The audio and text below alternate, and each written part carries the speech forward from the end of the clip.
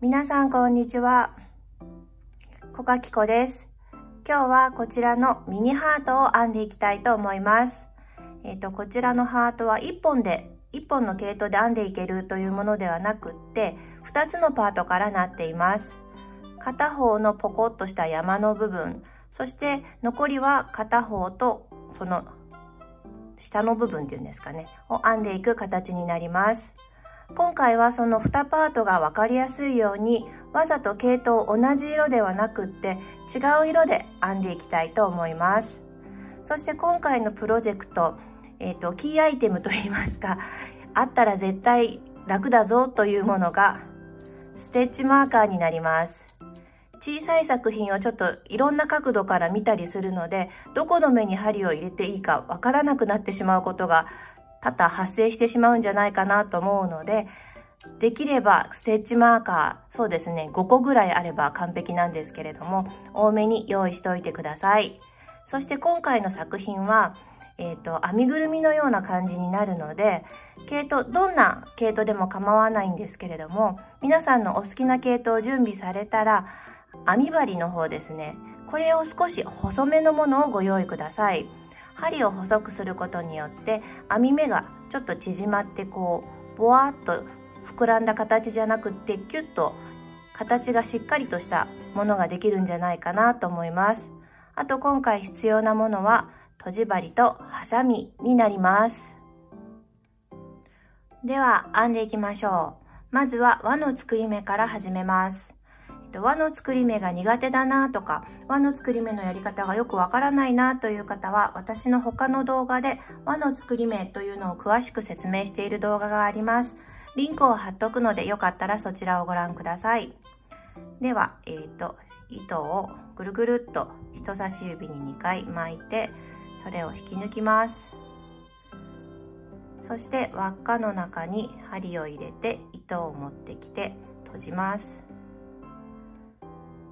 と今回私は、えーと、螺旋状に段ごと段の終わりに引き抜き編み段の初めに立ち上がりの鎖はせずにソフトクリームのように編んでいきたいのでここであえて立ち上がりの鎖はせずに編んでいきたいと思います。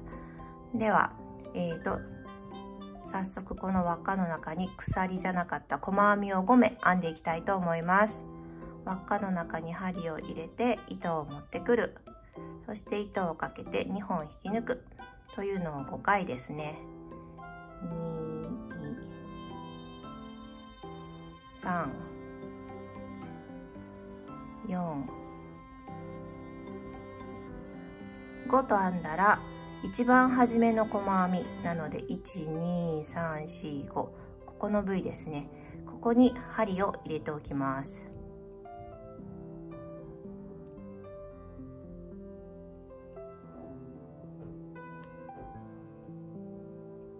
そしたら次真ん中の輪っかを閉じていきたいと思います。糸端を引っ張ったらこの2本のうちのどちらかが動くはずです。外側の方が動いたので動いた方の輪っかを持って動かなかった方の輪っかを縮めます。でそれが縮まったら今度は糸端でこの今引っ張ってた方の輪っかを縮めます。これで1段目が完成です。あで ちょっとちっちゃくて分かりにくいかな。中心の輪っかが閉じたような状態になっています。では続いて2段目編んでいきたいと思います。2段目を編み始める時に気をつけてほしいことはこの針にかかってるループが大きくなりすぎていないことを確認してください。そして2段目最初の目は増やし目になります。1つの目に細編みを2回編み入れてください。1回。2回と編んだらこの2回編んだ細編みのうちの1回目の方1番目の方の細編みにステッチマーカーを入れておきます。これが段の始めだよという目印になります。次隣の目に細編みを1目編みます。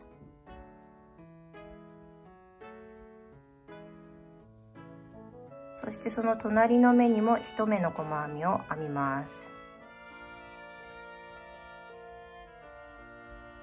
次の目は増やし目です。同じ目に細編みを2目編み入れてください。12と編んだら次この段最後の目になると思います。ここは細編み1目です。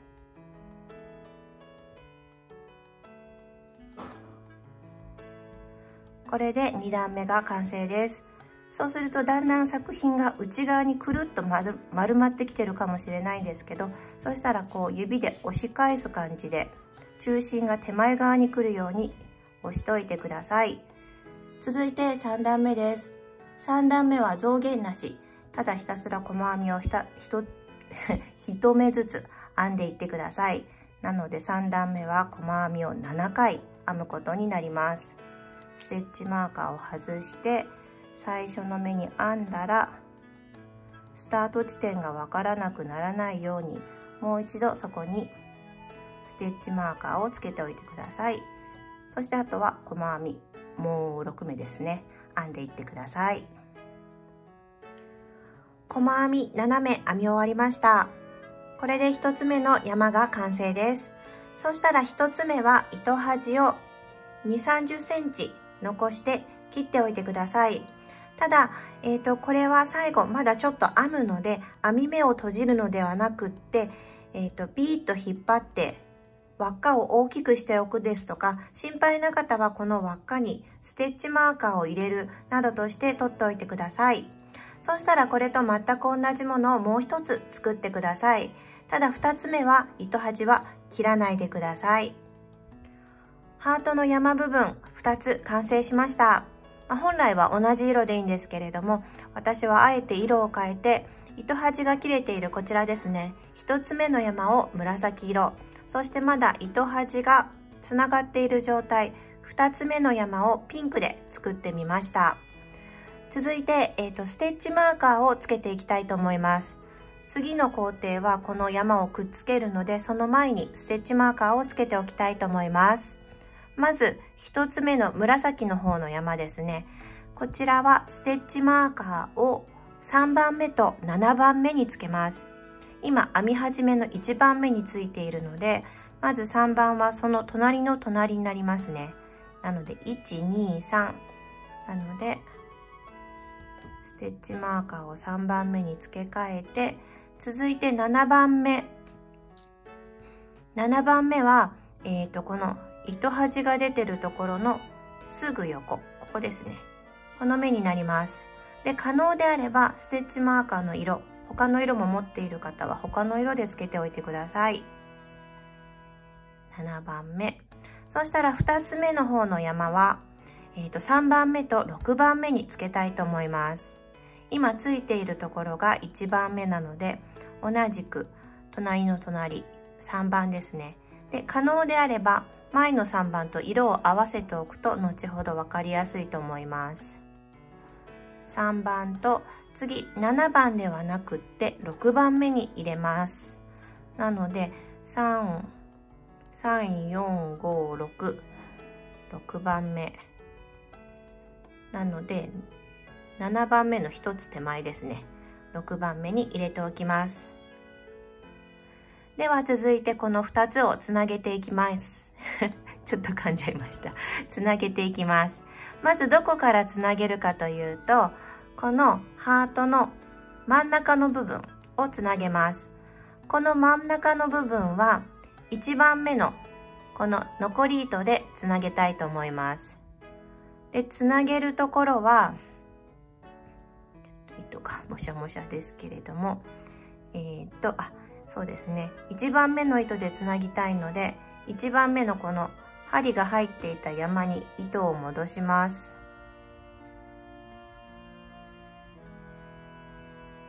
そうしたらば引き抜き編み2目でつなげるんですけれども1番目の目でいうところの12番ですね。この緑のステッチマーカー3番の手前までのこの1番と2番の2目でつなげます。そして2番目の方の山はステッチマーカーの間えっ、と間なんですけどどの間かというとこの時ステッチマーカーの色を合わせると分かりやすいです。えっ、ー、と、3番目の目がお互い左に来ていて、で、6番目、7番目の目が右に来るように持つと分かりやすいと思います。それぞれ、えっ、ー、と、ステッチマーカーの間、ここが1番目と2番目で、2番目の方の山は、えっ、ー、と、6、3、4番目と5番目の目。ステッチマーカーの間2目あると思うんですけれども、4、5と、これを引き抜き編みでつなげていきたいと思います。なので、糸端を持って、まずはピンクの方、えっ、ー、と、水色のステッチマーカーは、何番目でしたっけ？すいません。えっ、ー、と、6番目ですね。なので5番目。5番目の目に、ステッチマーカーのすぐ隣の目に針を入れて、そして1番目の山の方は1番目の目これもちょっと分かりにくいかもしれないんですけれどもそしたら先にステッチマーカーを入れてた3番から見ると分かりやすいと思います。321とあるのでこの1番目の目に針を入れて引き抜き編みです。で引き抜き編みをする時にこの針にすでにかかっている糸ここをまず引き締めてから編むとより引き締まった目ができると思います。ここが緩みすぎてしまうとハートの中心が緩んでしまうのでここはちょっときつめに編むといいと思います。ちょっときつめにしてそしてすぐ左隣。なので、えー、と4番目の目と2番目の目で引き抜き編みをします。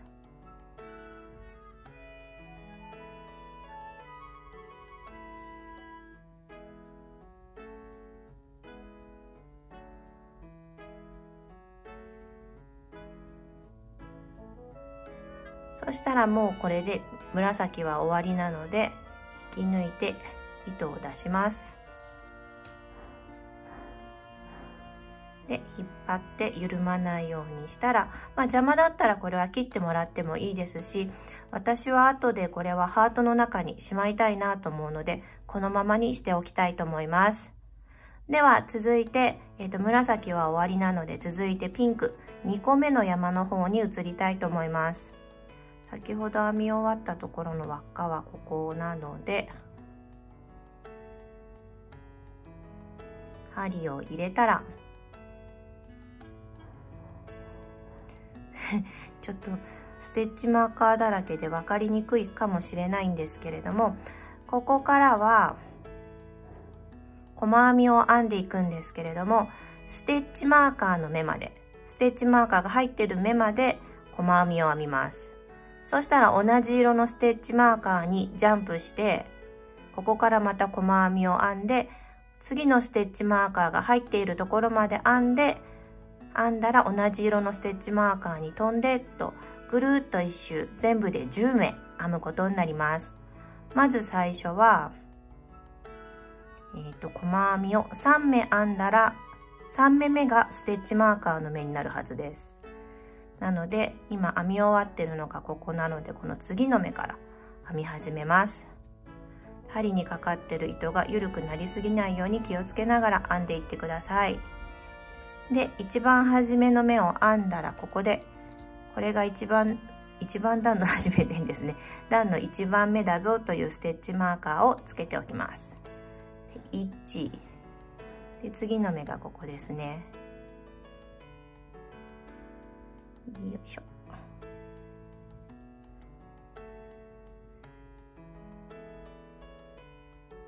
2と編んだら次ステッチマーカーの目になるはずです。そしたらステッチマーカーのところを押さえておいてステッチマーカーを外してで3番目の目を編んだら次この間にもちょっと編みたくなっちゃうかもしれないんですけれども次のステッチマーカーの目にジャンプします。指で目を押さえておいて次の目に針を入れると1つ目の山紫エリアは5目細編みを編むことになるはずです。1 2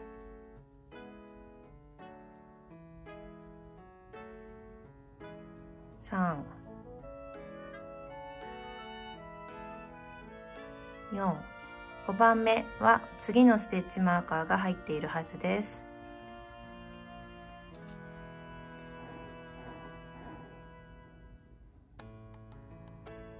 5と編んだら次ピンクの方にジャンプをして水色のステッチマーカーが入っているところ。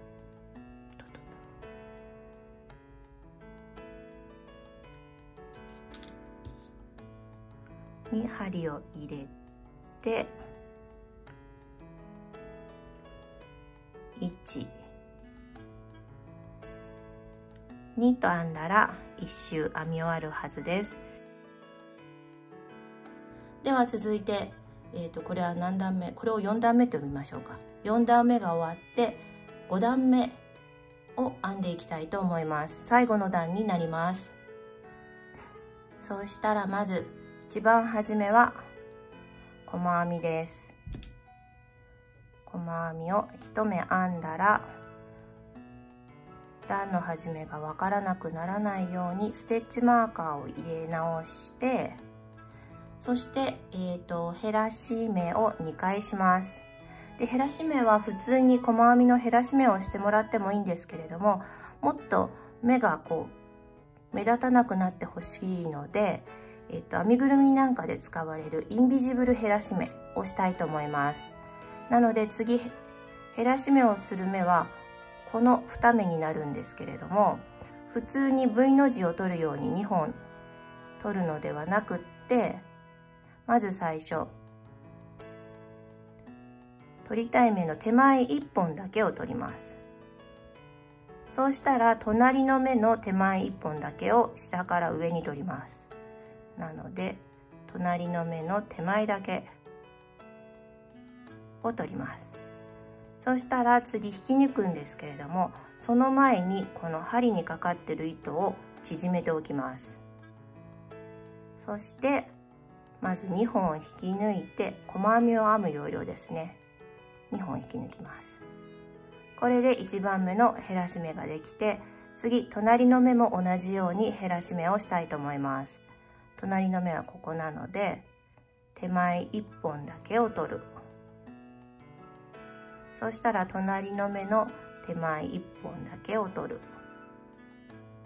そして引き抜く前にこの一番右側の糸がちょっと伸びてしまっているので縮めます。そして糸を2本を引き抜きます。そしてまた2本を引き抜く。そうしたら次隣の目は細編みを1回編みます。普通に V の字2本を取っている状態です。そしたら次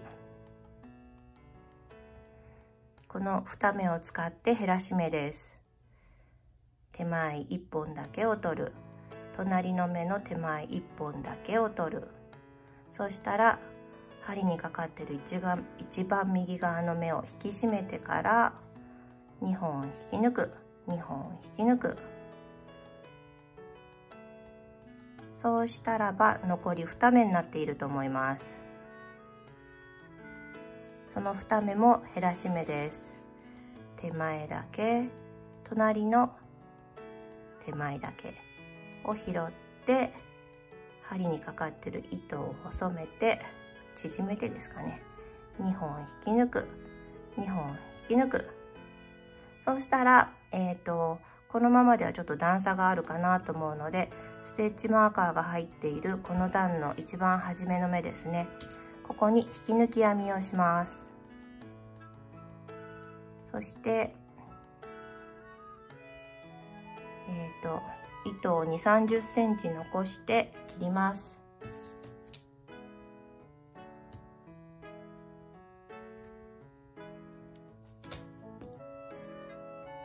したら糸をビーッと引っ張りますって糸だらけになってます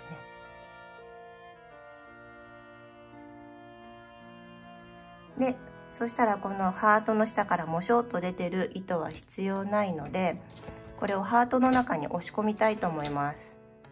適当にある編み棒の尻尾かなんかをちょっとこれじゃ太すぎますね。もうちょっと細いの。これでハートの中に押し込んでください。そうしたら最後このハートの下の部分を閉じたいと思います。えっ、ー、と閉じ針に糸を入れて、まあ、ここら辺は皆さんのお好きな方あのやり方で閉じていただいても全然問題ないんですけれども私は、えーと、対角線上にここは閉じていこうと思います、まあ、これも大体でも大丈夫かと思うんですけれども、えーと、私は1番から1234 1番から4番にまず針を刺します。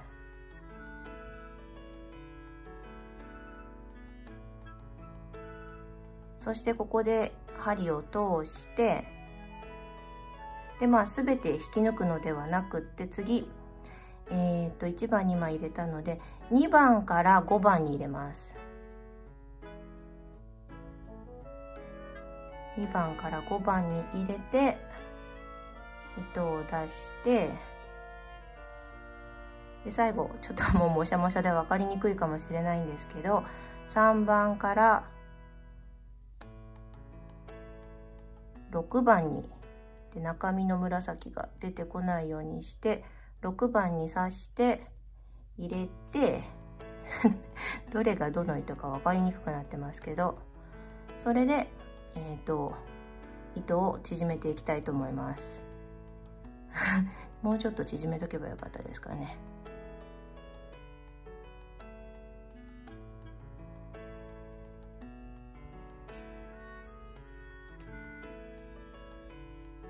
ちょっと紫が出ちゃいましたけれども。キュッと。これで完成になります。なのであとはもうこれでほどけることはないかと思うので